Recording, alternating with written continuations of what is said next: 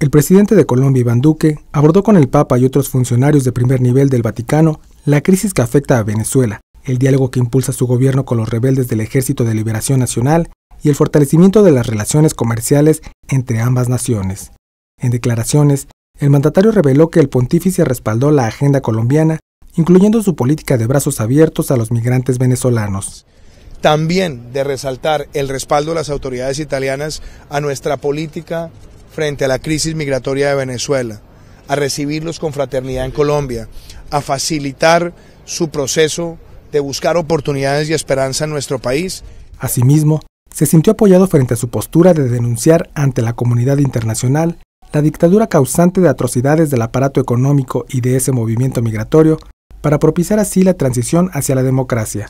Y al mismo tiempo debo resaltar eh, la actitud de las autoridades italianas por denunciar la situación que se está viviendo en Venezuela de opresión por parte de la dictadura. Más adelante, Duque anticipó que acompañará a Francisco en la Jornada Mundial de la Juventud, prevista en la ciudad de Panamá del 22 al 27 de enero de 2019.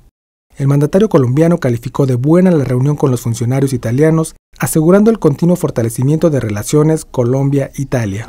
De manera que creo que hemos concluido una gran reunión tanto con el presidente Mattarella a la hora del almuerzo y ahora con el primer ministro Conte y seguiremos trabajando en el fortalecimiento de nuestra relación con Italia y me complace que la primera visita que hago a Europa como presidente de Colombia pues haya iniciado también con este país hermano de nuestra, de nuestra querida Colombia. Muchas gracias. Con información de Andrés Beltramo, corresponsal en el Vaticano, Notimex.